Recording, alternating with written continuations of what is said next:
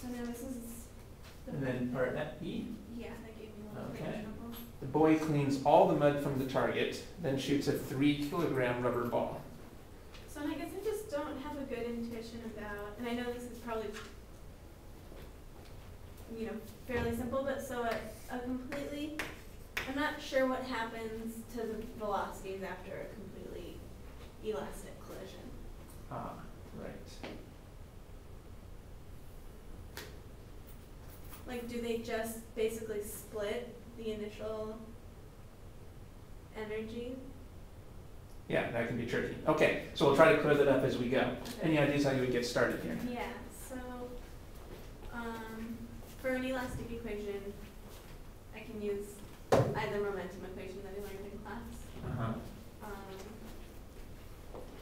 so. Let's see.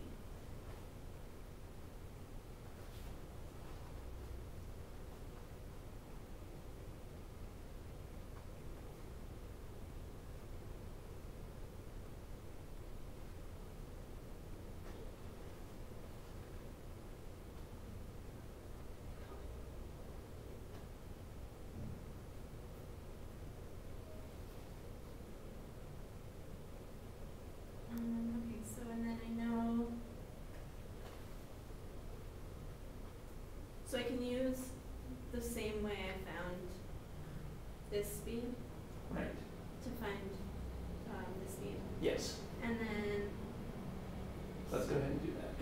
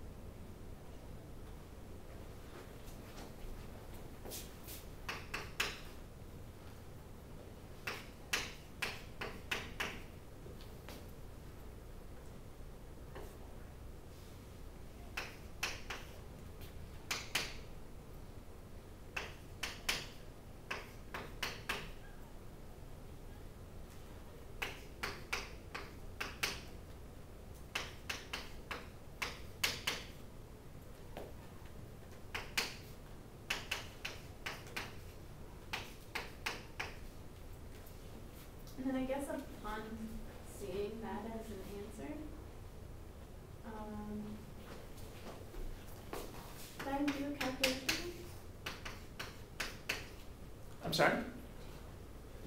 Okay, so this is the same as before. We have to figure out how fast it's going, how fast the rubber ball is going after it leaves the slingshot. So you used conservation of uh, energy again. I got a different answer than you did though. I Oh, did you? I got square root of two hundred over three.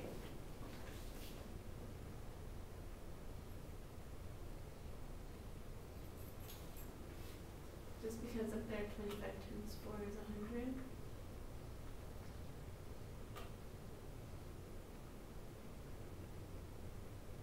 Or.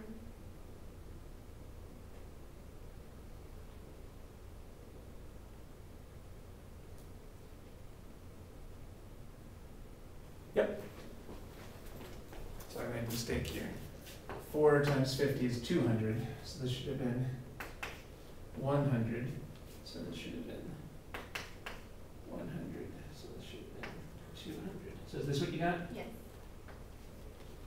Okay, good. So yeah, now I would change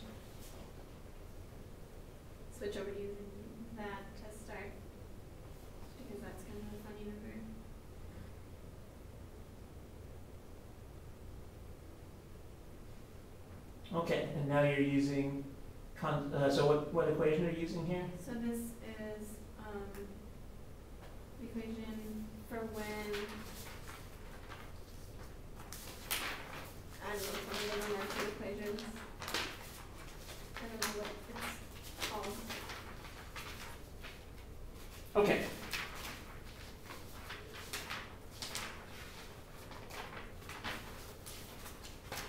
Yeah, so where's that equation? that you came up?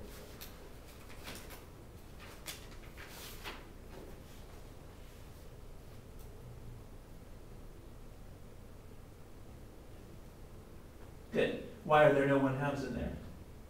I don't know. Should Because they would all cancel, right?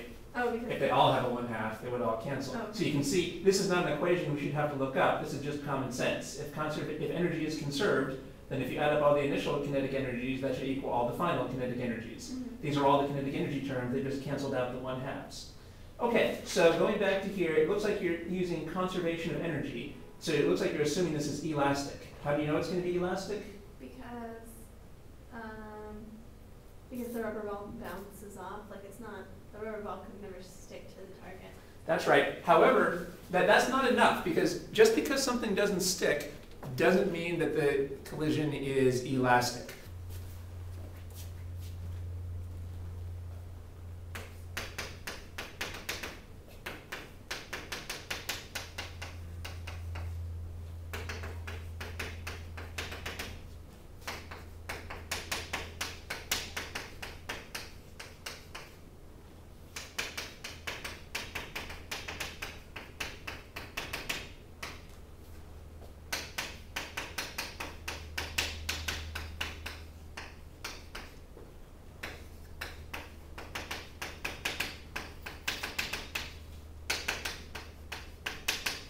So there's three different terms here. Elastic collisions, inelastic collisions, and totally inelastic collisions. A totally inelastic, well, elastic means that kinetic energy is conserved.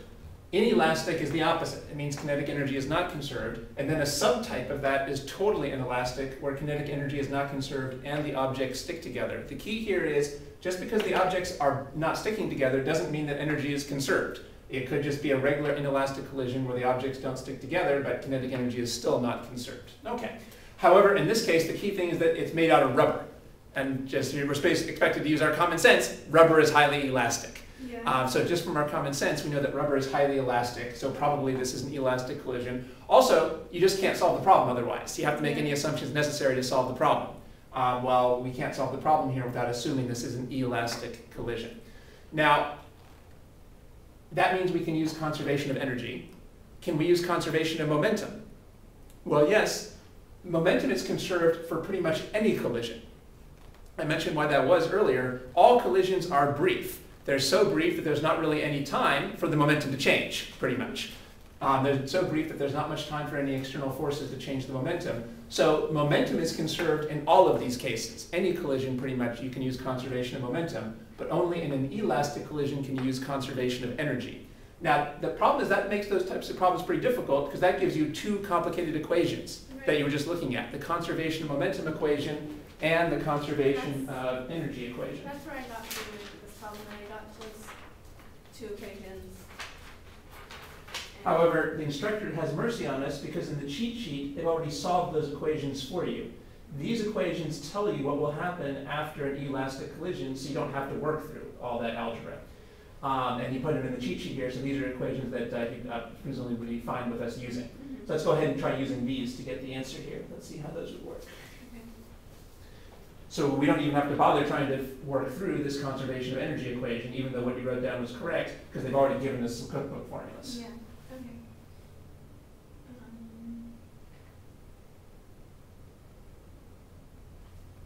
What's the question is? What was the question again? So the question is, what is, Yeah, next page. How fast is the target moving? Okay, target? good. So, so- which of those equations do we use? um, this one? Yeah, probably it's most intuitive here to call the mud ball object one and call it, and call the target object two. Yeah. So we'll use the equation for V2F.